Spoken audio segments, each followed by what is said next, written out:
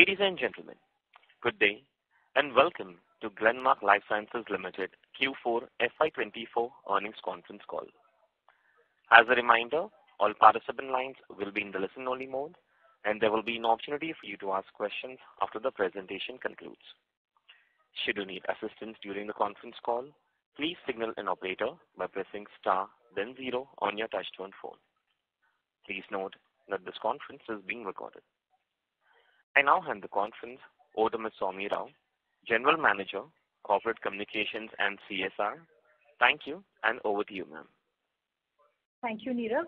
Good evening, everyone. I welcome you all to the earnings call of Glenmark Life Sciences Limited for the quarter ended March 31, 2024. From Glenmark Life Sciences, today we have with us Dr. Yasir Rawjee, our Managing Director and CEO. Our board has approved the results for the quarter ended March 31, 2024. We've released the same to the stock exchanges and updated it on our website. Please note that the recording and the transcript of this call will be available on the website of the company. Now, I'd like to draw your attention to the fact that some of the information shared as part of this call, especially information with respect to our plans and strategies, may contain certain forward-looking statements that involve risks and uncertainties. These statements are based on current expectations, forecasts, and assumptions that are subject to risks, which could actually cause results to differ materially from these statements, depending upon the economic conditions, government policies, and other incidental factors. Such statements should not be regarded by recipients as a substitute of their own judgment. The company undertakes no obligation to update or revise any forward-looking statement, whether as a result of new information, future events, or otherwise. Our actual results may differ materially from those expressed in or implied by these forward-looking statements. With that, I invite Dr. Yasir Rawjee to say a few words. Thank you, and over to you, doctor.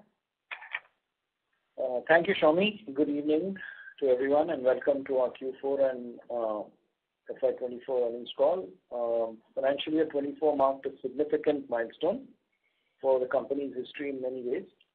I am pleased to announce the completion of our deal with Nirma Limited, who we warmly welcome as our new promoter.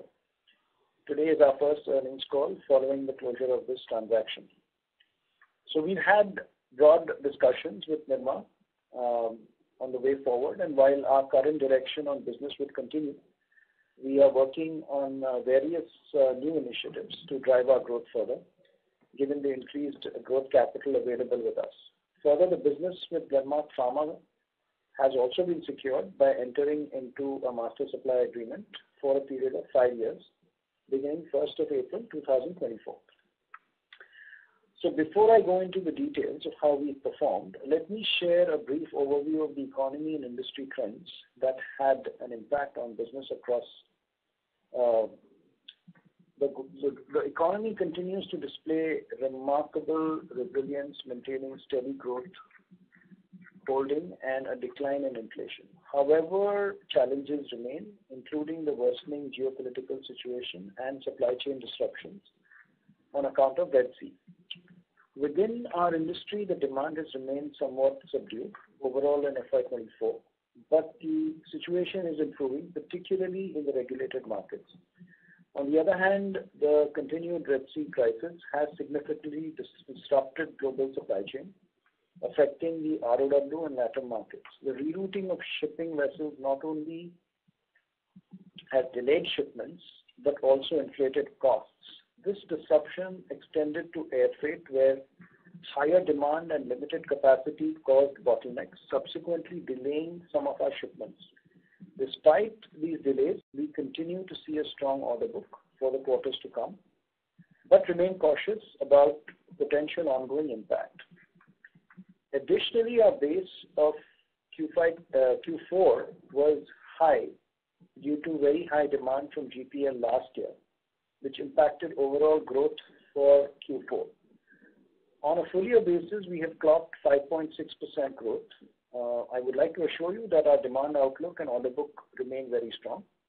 Coming to our regional performance year-on-year, our regulated market business was predominantly driven by Europe and LATAM, while Japan continues to experience inventory destocking. Our GPL business de-grew quite significantly. That said, we are optimistic about recovery in the Japanese market starting H2 FY 2025. Our CDMO segment has grown steadily, uh, and I've guided earlier, we expect the commercialization of our fourth product in the second half of FY 2025. Overall, FY 2024 was a breakthrough year for the company, despite geopolitical disruptions. Our gross margins continued to remain strong, and after a one-time bonus adjustment, our employee cost remains one of the most competitive in the industry. As indicated earlier, it will normalize from the upcoming quarter. In terms of our pipeline, we have been aggressively filing across the globe to match our growth aspirations. The total DMF and CEP filings have crossed 520 as of 31st March, uh, with cardiovascular and CNS therapies seeing the highest filings to the tune of 244 in total. During the quarter, we added six new products to our pipeline, with four high-potency APIs and two synthetic small molecules. Coming to high-potency API pipeline, we now have 17 APIs with a total addressable market of $37 billion at the front end. We have already validated three products, while four products are in advanced stages of development. Additional capacities at Ankleshwar and Dahej will be operational from Q1 of FY 2025. In closing, we remain optimistic of the growth prospects for FY 2025. We are committed to delivering high-quality, innovative solutions to our customers and enhanced value to our shareholders. With this, I now turn the floor to Mr. Shyam Agarwal, who is taking the place of Mr. Tushar Mistry, our CFO, who is not able to be here today uh, due to some personal uh, reasons. So, Shyam, I hand over to you. Thank you, Dr. Dr. Yasir. Hello, and good evening, everyone. I once again welcome you all to our Q4 and FY 2024 earnings call. Following Dr. Yasir's commentary, let me briefly take you through the key performance highlights for the quarter and full year ended 31st March 2024, post which we will open the floor for questions. Our revenue from operation for FY 2024 stood at rupees 2,283 crores, a growth of 5.6%. For Q4 FY 2024, our revenues were at 537 crores. The revenue for the quarter was impacted due to the ongoing geopolitical issues, resulting in delayed flight availability for dispatchers and also aligning to some extent with Glenmark policies. The gross profit for FY 2024 was at rupees 1,281 crores, a growth of 11.7%, whereas the gross margin were at 300 basis points and stood at 56.1% in FY 2024 versus 53.1% in FY 2023. Gross margins for the quarter were at 55.5%, which expanded 60 basis points year-on-year. The shift in the product mix and a slight decreased benefits from the PLI scheme impacted our gross margins this quarter. Looking ahead, we anticipate an annual reduction in margins of 100 to 150 basis points due to the discontinuation of PLI schemes benefits. EBITDA for FY 2024 stood at rupees 686 crores, up 2.2% year-on-year, with the EBITDA margins remaining steady at 30.1%. I would like to highlight that the adjusted EBITDA for FY 2024 was at rupees 727 crores. After considering the one-time bonus and transaction cost of 37.5 crores and rupees 3.2 crores respectively, which would have got us to an EBITDA margin of 31.8%. EBITDA for the quarter was at rupees 145 crores, with EBITDA margin at 26.9%. As highlighted in our last earning calls, employee costs have higher due to one-time bonus linked to management's past performance. We anticipate this cost will return to normal levels starting from Q1 FY 2025. PAT for FY 2024 stood at 471 crores, with PAT margin of 20.6%. PAT for the quarter stood at 98 crores, with PAT margin coming at 18.3%. Overall, FY 2024 has seen steady growth despite the backdrop of uncertainties. Moving on to the segmental performance for FY 2024, generic API clocked a revenue of 2,042 crores, a growth of 7% year-on-year. Generic API revenues were at 485 crores for Q4 FY 2024 and was impacted owing to the Red Sea crisis and muted GPL business. Regions like Europe and Latin contributed positively to the segment year-on-year. CDMO revenues grew by 2% year-on-year at rupees 143 crores for FY 2024 and have continued to show stable demand. Within our therapeutic mix, the CVS and CNS portfolios continue to drive growth. R&D expenditure for FY 2024 was at 75.3 crores, 3.3% of sales, and rupees 20.2 crores for the quarter, which was 3.8% of our quarterly sales. Let me quickly touch upon the balance sheet and the cash flow movement, starting with working capital. Working capital for FY 2024 was at 170 days, slightly on the higher side on account of high inventories we maintained due to current geopolitical issues. Our CapEx for FY 2024 was rupees 129 crores. We continue to remain a net debt-free company. For FY 2024, we generated free cash flow of rupees 285 crores, with cash and cash equivalent of rupees 301 crores as of 31st March 2024. Overall, a promising demand environment with our strong order book, coupled with fresh capacities, puts us in a formidable position for growth in the coming quarters. With that, let us open the floor for Q&A. Thank you. Thank you very much. We will now begin the question and answer session. Anyone who wishes to ask a question may press star and one on their touchtone telephone. If you wish to remove yourself from the question queue, you may press star and two. Participants are requested to use handsets while asking a question. Ladies and gentlemen, we will wait for a moment while the question queue assembles. Participants, you may press star and one to ask a question.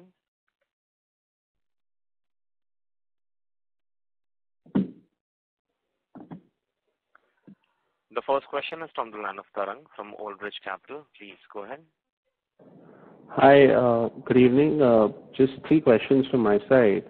Uh, You know, you had guided in your Q3 earnings about, you know, a soft GPL business in Q4. But the volatility or the fall that we saw was quite steep. So just wanted to get a sense in terms of going forward, how should we see it? And are these quarterly? Can we expect these quarterly aberrations even from here on? So, Tarang, uh, the thing is, GPL business has been a bit, uh, you know, cyclical because of their demand, uh, you know, at the front end. My understanding in terms of why this has been soft, or quite, you know, significantly soft, Uh, right, was on account of some inventory destocking that they were engaged in. Uh, we expect them to come back in the year, but, uh, quarter-on-quarter, we do expect some, you know, um, fair amount of variation, let's say. On a yearly basis, I think it's going to be fairly stable. Okay. And Doctor, generally, from your vantage, what kind of visibility do you have on the business? Do you have a, say, six-month, two-quarter visibility? How does it really work? So typically, uh, we should have about, uh, you know, one to two quarters of visibility on their uh, business, right? Okay, got it. And second, I mean, the CDMO business, I believe you spoke about the fourth molecule, which could probably commercialize in Q2 of FY 2025. Was it Q2 or Q4? It depends on regulatory approval. I mean, if it comes through soon, then we should expect something in Q2, but it could probably get into H2. Okay. Uh, so. Okay.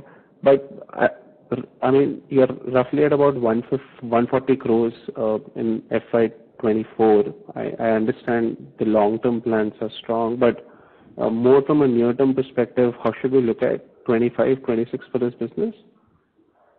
Yeah. So we should expect the fourth project to kick in sometime in H2, and even the fifth project, right, should kick in by Q4, is our expectation. Okay. You know, so there should be, there should certainly be some jump, uh, you know, which which we should see towards the end of the of this year. Okay. And, uh, uh, iron sucrose pipeline, Uh, I think three molecules were in active uh, uh, development. One was filed. Is that status quo, or has there been any change there? At status quo, one molecule has already been filed. It is being reviewed by regulators. And then, you know, we've got three molecules in the pipeline. Two are in advanced development. One has been recently taken in. Thank you. Sorry to interrupt you, Tarang. I'll request you to come back for a follow-up question. I request to all the participants, please restrict to two questions per participant, and kindly join the queue for a follow-up question. The next question is from the line of Shubhankar Ojha from SKS Capital and Research. Please go ahead. Yeah, hi. Uh, thanks for the opportunity. Uh, can you please uh, elaborate on the master agreement that you have signed with GPL? Uh, I mean, uh, what is the structure, uh, et cetera, like, um, and I mean, basically more color on the same. Sure. So, I mean, it's a five-year agreement, right? And basically, existing supplies would continue, and new products that have been filed with our APIs. Okay? And these, of course, would happen at competitive prices. Um, therefore, you know, protecting the interests of both the parties by ensuring that, you know, there's a predictability on supplies as well as on earnings. Okay, great. And what was your uh, GPL revenue uh, uh, in the overall revenue for 2024? So it was around seven months, about 30%. About 30%. 717 crore. You expect this to be stable, uh, going going forward? Yeah, we expect it to grow in the high single digits. High single digits. Okay. All right. All right. Thank you so much. Sure. And also, sorry, I okay, so one more actually. So also with respect to the CapEx, so we have done a major CapEx for the Dahej and Ankleshwar, which is going to start operation uh, 2025, quarter one. Is that what you said? Yes. What What is our uh, CapEx um, uh, budget for 2025? So 2025, it would be around 340 crore, because we are starting Solapur in a big way now. Uh, we expect to spend about 140 crores uh, for the greenfield site in Solapur this year. And the remaining would be for, uh, you know, completing many of the brownfield projects that we have undertaken in Ankleshwar and Dahej.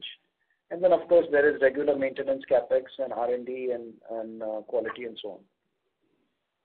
All right. Great. Great, and good luck, sir. Thank you. Thank you. Thank you. A request to all the participants, please restrict to two questions per participant. Next question is from the line of Neha Manpuria from Bank of America. Please go ahead. Yeah, hi. Thanks for taking my question. Uh, Dr. Yasir, you mentioned quite a bit about how the quarter- May I request you to speak a little louder, please? Is this better now? Yes, thank you. Okay. Uh, Dr. Yasir, you mentioned quite a bit about how the Red Sea uh, crisis impacted our ROW LATAM supplies in the quarter, and it seemed like you also remained um, cautious uh, on this, you know, on this scenario going forward. Could you give some color on what could have been the likely impact because of this deferment or delayed supplies in, um, you know, in the quarter? And are we seeing some easing in the situation or some work around this Um, to ensure there are no further delays? You know, anything that you can, uh, you know, give us color on? Sure. So what we did not anticipate in last quarter when the problem had just started, right, in the last quarter commentary, right, is that we didn't expect that the air routes would fill up uh, a lot and there'd be a higher demand on the air routes. And that is exactly what has hit us. So, uh, you know, there's a pretty, you know, there's a backlog, right, uh, because of the higher demand on the air routes, right, of around 10 to 12 days. Hmm. Uh, and as a result of that, uh, you know, we did have, you know, we we had a problem, right, with you know, completing our entire sales for, you know, some of the some of the destinations, and that has hit us.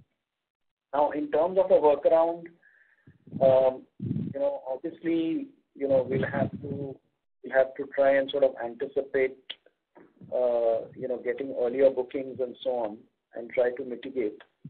But I expect that until this crisis, uh, you know, ends, uh, and the sea routes are back, air freight availability will continue to be a challenge. Plus, there would also be some impact on the air freight costs, um, you know, going forward. So let's see how it pans out. Uh, the other impact uh, is also on the raw material supply, because that we get by sea.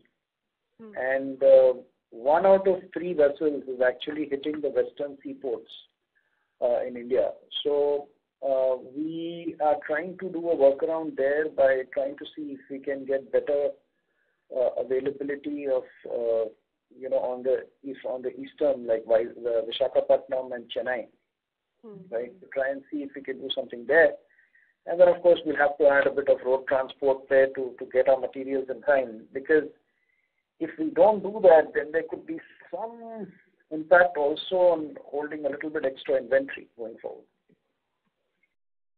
Sir, is there a risk to the, you know, usually mid-teen guidance, revenue guidance that we have talked about, you know, because of this, Uh, the crisis ongoing? Does that mean that shipments will be, unless this is sorted out, and we have very little visibility on that at the moment, uh, you know, we could see lower uh, supplies and therefore lower revenue? Neha, see, demand is pretty stable, okay, across- markets, except the Japan thing that I had mentioned earlier, right? Um, So demand is there. Now, it's our job to ensure that, you know, given the situation, how do we sort of adjust, okay? Uh, I am hopeful that, uh, you know, that we'll we'll be able to figure out both the supply side as well as the, you know, sales side, you know, the shipments happen in time so that we are able to recognize the, the sales. Thank you. Sorry to interrupt you, Neha. I'll request you to come back for a follow-up question. I request to all the participants, please join the queue again for a follow-up question. The next question is from the line of Ahmed from Unifi Capital. Please go ahead. Uh, doctor, so we want to understand the uh, the external business little better. Sorry to interrupt you. Can you please speak through the handset? Yeah, yeah. So, uh, we have a question on the external business. Uh, so two questions here. First, can you, in the 5% degrowth which we had this quarter, what is the breakup of volume and the price? How is the volumes done, and how much is the price decline YOY? And number two, can you give little more sense on the geography-wise revenue for the external business? How is the each geography done this quarter? So, Ahmed, the dip uh the dip in the external business, right, like we said, was largely on account of uh, this Red Sea business, plus, you know, uh, some alignment with the Nirma um, accounting policies. Okay. Uh, with respect to, you know, volume versus price, see, typically, uh, on a year basis, we do see an erosion of around 4-4.5% on the bucket, right? Um, so, uh, you know, uh, and so there is, I to maintain growth, we do have a volume growth of around 10-11%. So, I mean, that's where I would put that. Okay. Coming to geography mix, on the quarter, like we said, Europe and Latin have performed well. The other regions have been relatively flat. Japan has not done well. Okay. Uh, but on the year basis, every region except Japan has hit really well. I mean, India did very well, right? The US also did well uh, for the year. Okay, uh, Europe, Latin has also done well, and ROW has done, Uh, has grown, but not, but in single digits, right? And the only degrowth that we have seen is on the uh, Japan side. Okay, thank you. Uh, second question was on the last year, actually, we had a very strong business, both from the GPL as well as the external business. And looking at the circumstances in the next couple of quarters, do you see some more weakness in the business for next two quarters? Uh, no. We we have a pretty good order book on the external side, uh, and we expect GPL also to kick back in, right? So, we expect the first half of uh, this year to be uh to have a pretty good growth. Thank you. Ahmed, I'll request you to come back for a follow-up question. The next question is from the line of Ashwini Agarwal from Demeter Advisors. Please go ahead. Uh, good afternoon, doctor, um, uh, and congratulations on completing the transaction. In your opening remarks, you said that you're working on uh, various new initiatives, discussing various new growth initiatives with Nirma, and with more growth capital agreement, with more, more growth capital available to you. Could you. Could you talk a little bit more about that? What areas this might be, and uh, when do you start to see the CapEx plans getting outlined and, uh, you know, visibility more on this front? Sure. Ashwini, uh, basically, like I said, right, the the existing um, prescription that we have adopted for ourselves for growth would continue unimpeded, unhindered. That that is a pretty solid plan. We will continue that. With respect to, you know, what we can do further, I mean, certainly we will be pushing harder on the CDMO side, okay, uh, with respect to opening up uh, more channels, okay, with respect to the business side. And uh as far as, uh, you know, the technology side, there are a few technologies that would open up, you know, other portfolio opportunities for us, higher value portfolio opportunities. And those are technologies that uh, we uh, will start investing this year itself, okay, which should which should sort of start panning out at a commercial level in two to three years' time. So, we have lined up a couple of them already, uh, and we would be building those out in R&D. And There would be a few more levers that we would add on the technology side. Uh, on the business side, it would be, um, you know, um, uh, sort of more extended CDMO play with technologies coming in to assist both the API uh, growth as well as the CDMO. Okay. And just coming to the near term, which is the next one or two years, uh, you alluded to two factors uh, that hindered Q4. One was, of course, the Red Sea and the air freight capacity issue, and the second was alignment with uh, Nirma policies. Um, could you spell out what the latter means, the alignment to Nirma policies, and how much of revenue got deferred or could not be recognized because of that? Yeah. So in total it was around 45 crores. Okay. Uh, we'd have to come back to you on the split. But uh, yeah, I mean, as far as, uh, I mean, there's got to be a consolidation now with Nirma, right? You know. So we had to make some small adjustments there, right, in order to align.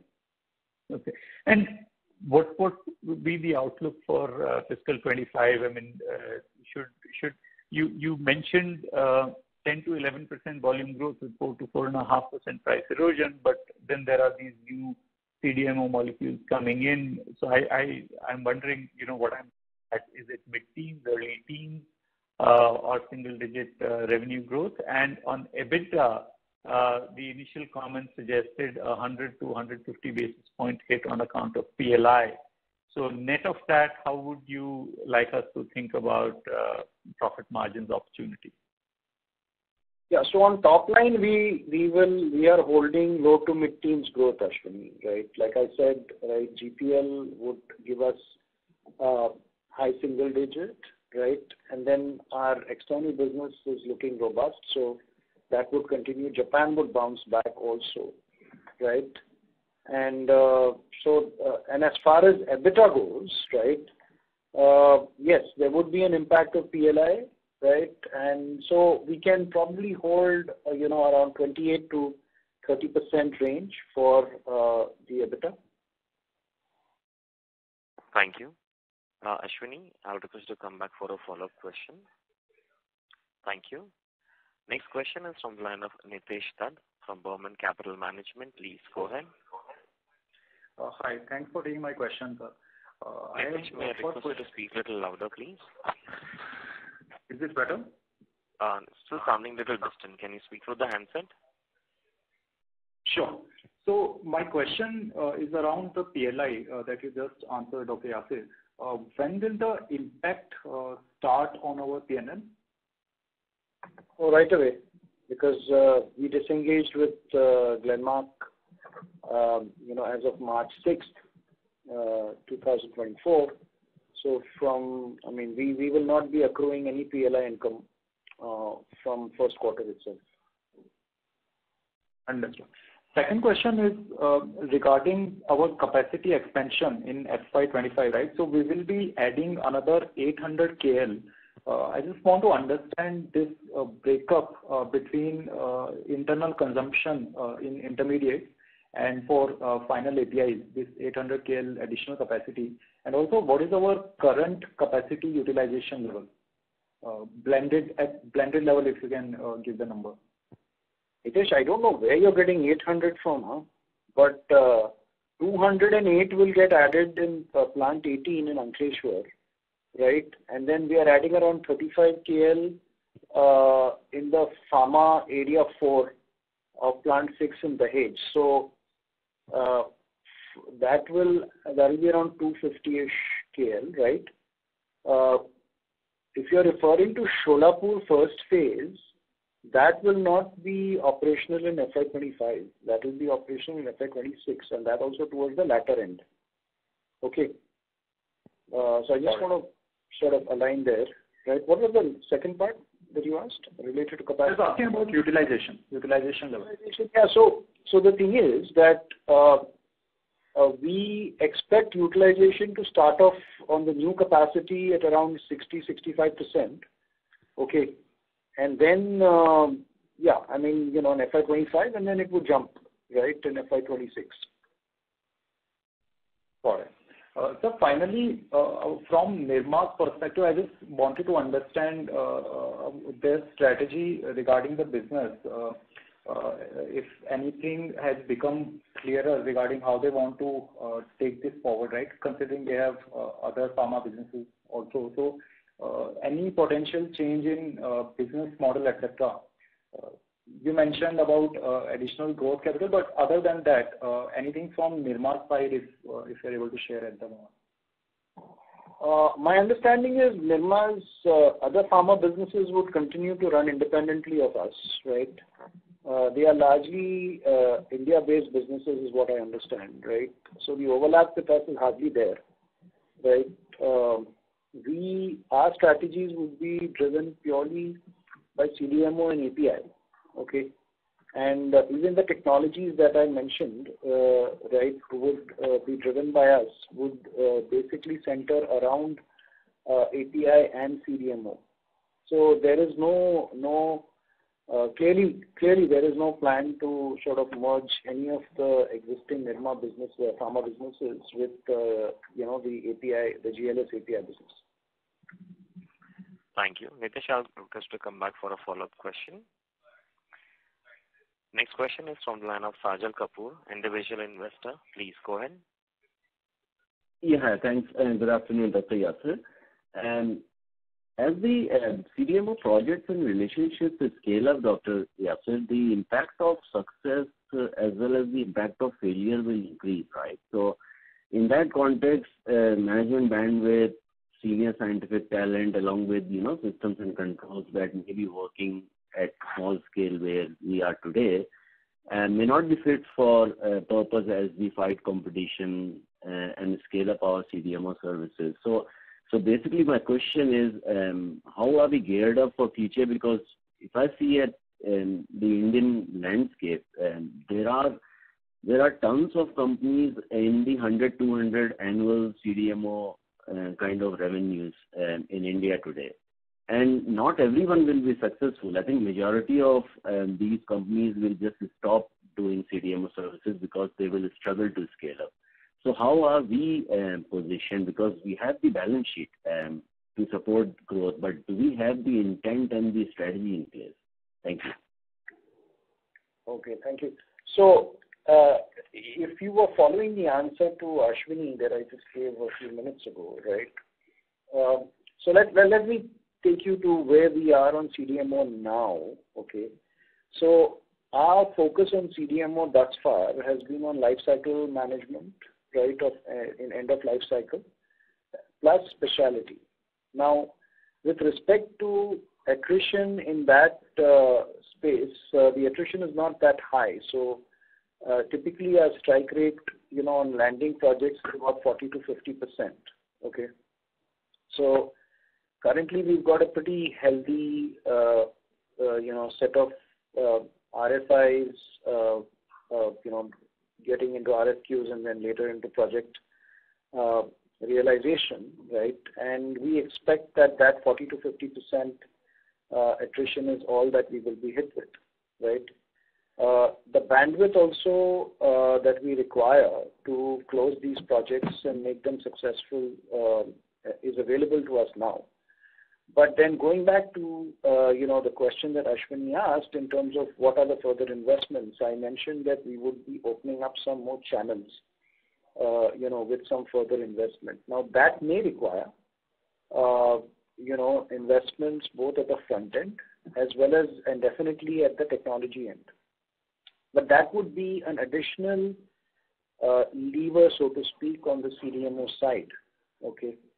So while this push on CDMO is something, the one with specialty and end of life cycle, is part of our current strategy, and that would continue with a uh with a fairly modest attrition, right? Uh and with the bandwidth available for us to deliver. Okay. We we believe that uh you know by further opening up channels, we will only accelerate our CDMO play. Of course, I mean, you know, you do reference other companies. Uh, I think everything relates to how a company approaches CDMO and basically what what slice of the CDMO uh, piece are people looking at. So if you're in the early medicinal chemistry uh, you know, lab type of projects, yeah, you have a larger number of projects, but like you mentioned yourself, attrition can be pretty high. So again, we are clear, right? Attrition in our set of products is uh, projects is uh, pretty modest, and uh, we expect a fairly good hit rate you know, with respect to CDMO space. So, so do we have the aspiration to hit a number close to 1,000 crores coming from custom synthesis of CDMO? I mean, is that what our vision or strategy is over the medium term, to try and get closer to that number? Because 100 crore-200 crore, I think is sub-scale, and it would be difficult to survive for any player uh, at that level for very long. Standalone, I agree. This kind of, yeah. Yeah. On a standalone basis, yes. Uh, what you're saying makes a lot of sense, but you you've got to factor in that our 150 crores revenue is driven by only three projects. Okay? So they are sizable. At a per project level, they are sizable. So for us to add, let's say, you know, another eight to ten projects in the next four years would drive up our revenue to about 500 crore-600 crore, is what we had indicated anyway. Right? So that direction is clear. The size of our portfolio allows us to you know, say that with confidence, right, that we will achieve that. Uh, however, uh, adding another lever or a column, so to speak, on the CDMO, which we will choose carefully, again, keeping in mind that we don't want to get into this very high attrition business. Plus, um, you know, uh, we don't want to be making very significant investments in a completely different set of uh, you know, uh, capabilities and technologies. We should aim for 1,000 crore. Uh, I'm not putting out anything, I mean, but just to since you put that number out there, if we add a little more uh, you know, more levers on the CDMO side, we can aspire We can aspire for 1,000 crore. Thank you very much. Sajal, sorry to interrupt you. Kindly come back in the question queue for a follow-up question. A request to all the participants, as we have a long question queue and the part and the management is able to answer all the participants in the queue, kindly restrict to two questions per participant. Next question is from the line of Aejas Lakhani from Unifi Capital. Please go ahead. Thank you. Uh, sir, a follow-up on some of the earlier discussion on freight. Should we assume that um, although there are challenges given the limitations on air freight availability, um, but the fact that you have uh, awareness of the problem and options that uh, you're exploring uh, across different lines and different modes, what what probability should we ascribe to that being a constraint to actually getting it done? So Sharad, thanks for the question. Um, I think it remains to be seen. We'll have to figure this out. Uh, it doesn't look like a showstopper for sure.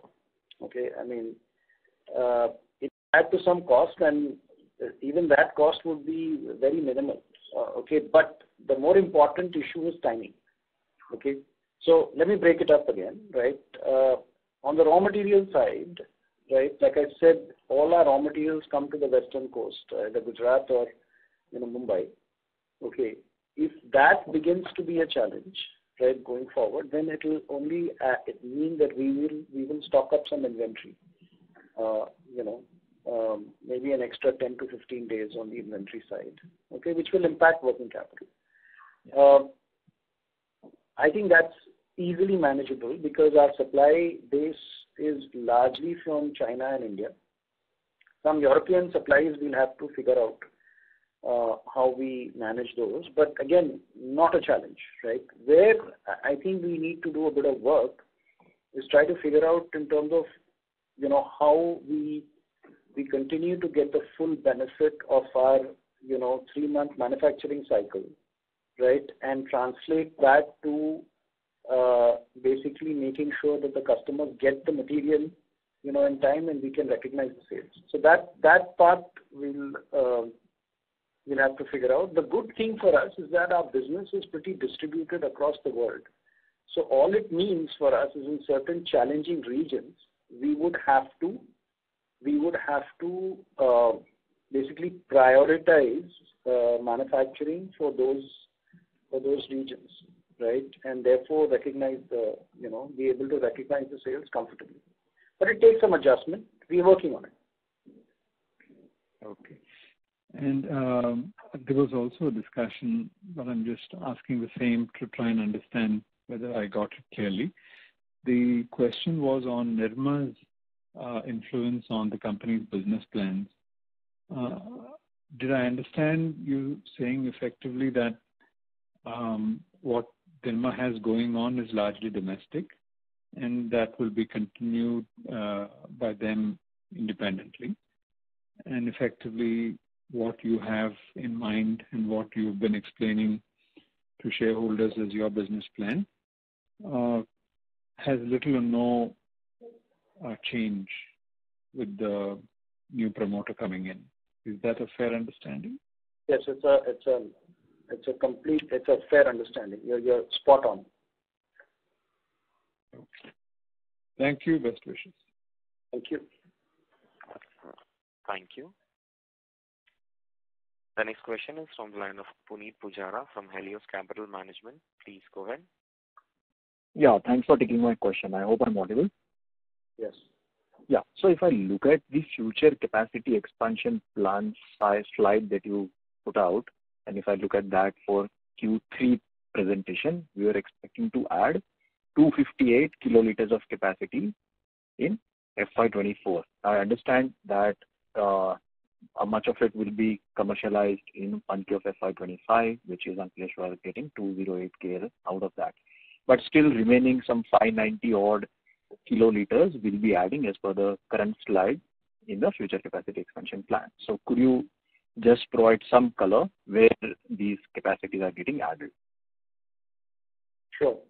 So largely the uh, the bulk of this 500 odd KL will be coming up at Solapur. And like I said earlier, this will be coming up in late of late FY 2026. Um, there would be some additional capacity that we may look at in Dahej on the on the pharma area, right? In case we run into some bottleneck, because that civil construction is already done. Okay? Uh, but that we'll see how that pans out. Uh and then there is the sort of completion of uh, plant six in um, Dahej. That should also give us an additional 120 KL of capacity. But again, um, I expect that that would come online only in mid-2026.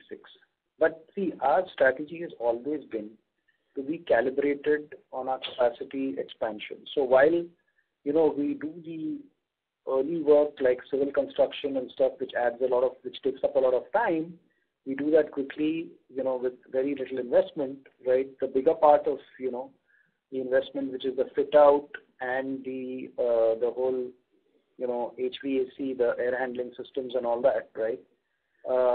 And that takes less time. We do that closer to when we see that we need that capacity. So that's the plan. We'll see.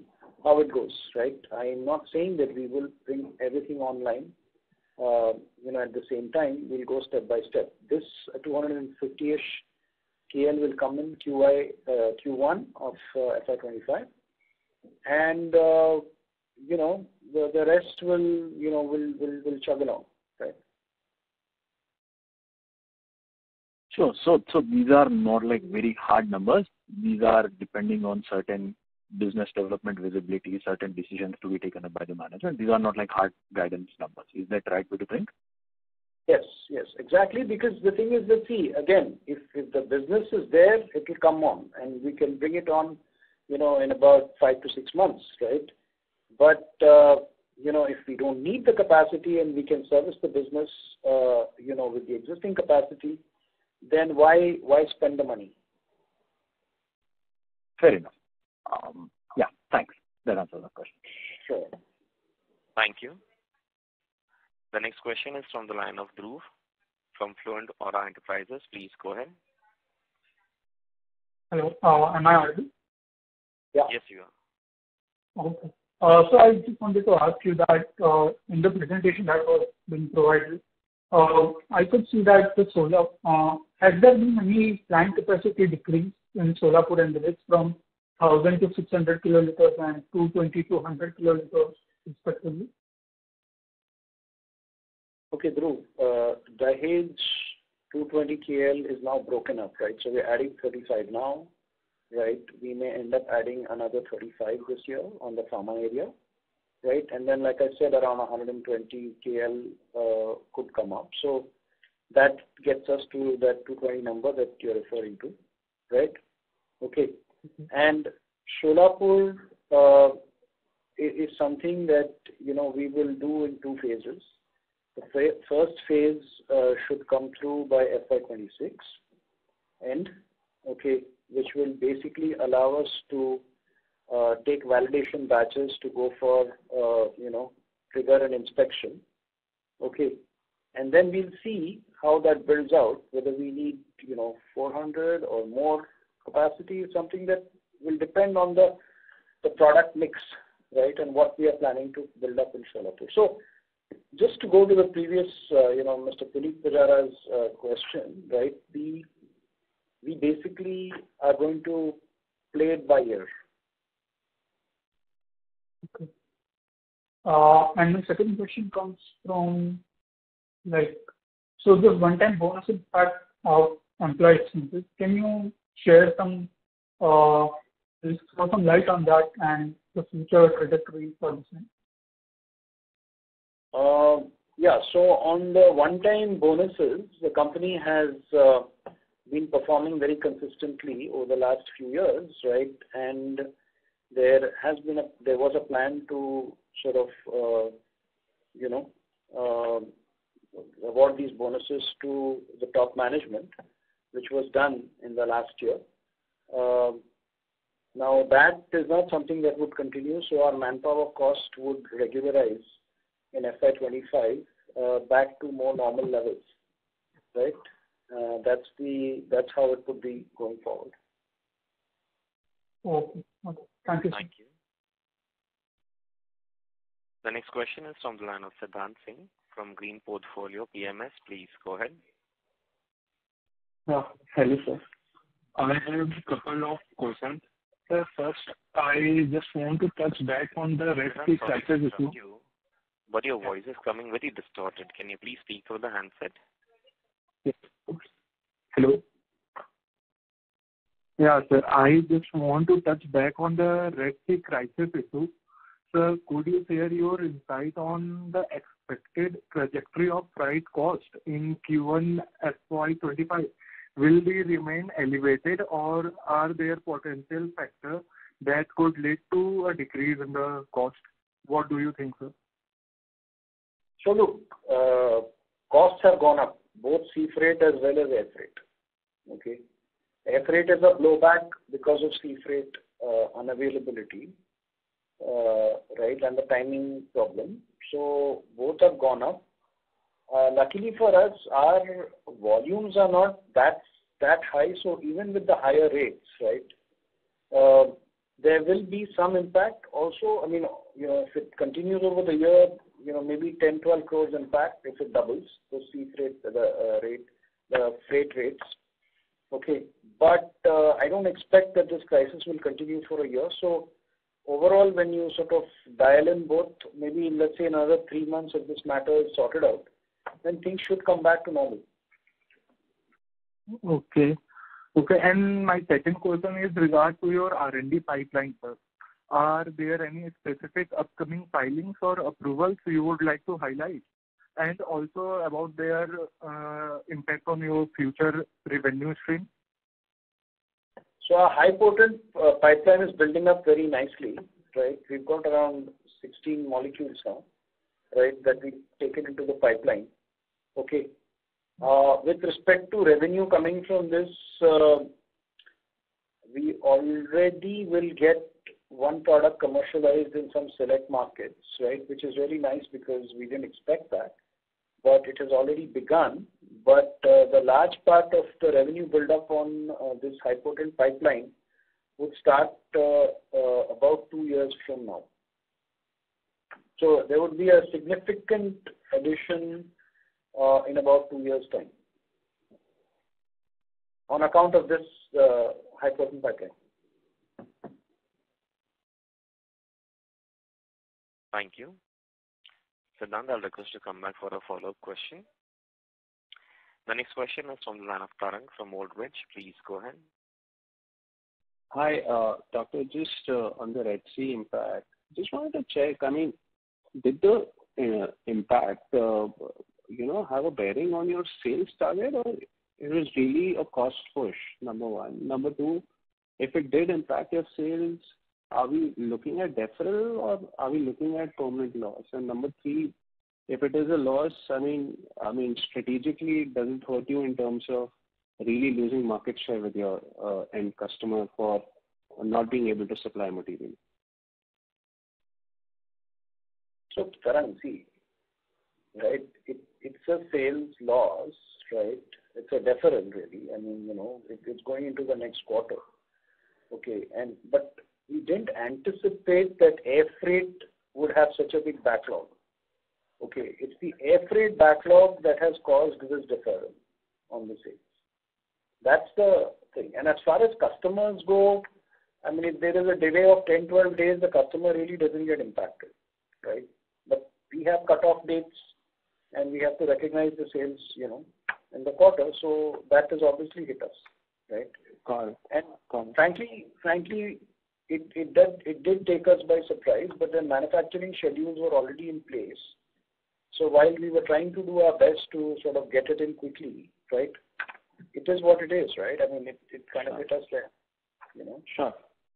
Sure. And I mean, in terms of cost implications, you did sound out a 10 crore-12 crore number for the year. So that is if it continues for an entire year. Okay. Yeah. Sure. Okay. Super. Thank you. Thank you, doctor. Sure, sure. Thank you. The next follow-up question is from the line of Ahmed from Unifi Capital. Please go ahead. Uh, just want to reconfirm a number. You said 45 crore impact uh, because of deferment and uh, change in accounting policy. Is that correct? Yeah. Can you break it down, deferment and change in policy? Like I said, we'll have to come back on that. Okay, fine. Thank you. Thank you. The next follow-up question is from the line of Punit Pujara from Helios Capital. Please go ahead. Yeah, thanks for the follow-up. Now that the year is closed, uh, could you tell us that what percentage of your revenue came from goods that were made using inputs from, like, imported goods at any stage? That's one. And follow-up to that would be what percentage of inputs came from China for that? Could you please repeat that? I kind of lost you. Yeah, yeah, sure. So what I'm asking, what percentage of your financial year 2024 revenue came from the goods that were manufactured using the materials imported outside, from outside India? And within that, what was China's share? Okay. So you know what? Tying up what gets made because of China and what gets made because of other imports is difficult because there are all kinds of inputs that go into a single product. I mean, if you're looking at a seven-stage synthesis, right? There are multiple key starting materials and uh, common raw materials that come from China, India, Europe. So that's difficult to quantify. But Hmm. let me tell you, right, uh, our import procurement, right, is about 40 to 45 percent right? And uh, China is about uh, about 48 percent right? Uh, And the rest of it comes from India. And this is expected to come down with uh, backward integration capacities such as Ankleshwar coming up. Uh, Solapur, yes. It's expected to come down. Sure. And the second thing is, you mentioned to my earlier question that you can put up capacities in, let's say, roughly six months of time upon getting business visibility. But given that the Red Sea crisis is also would impact the inbound shipment as well, so what, like, how will that ensure the import of machineries or engineers coming to set up those plants? How will that, uh, how will that timeline change? Okay, so for CapEx, for capacity building, we don't get outside, uh, we- everything is done out of India. So all our suppliers are based out of India. Our entire infrastructure, there is no infrastructure development dependence on uh, any foreign country. Everything is indigenous. Okay, so that's not a problem. I see.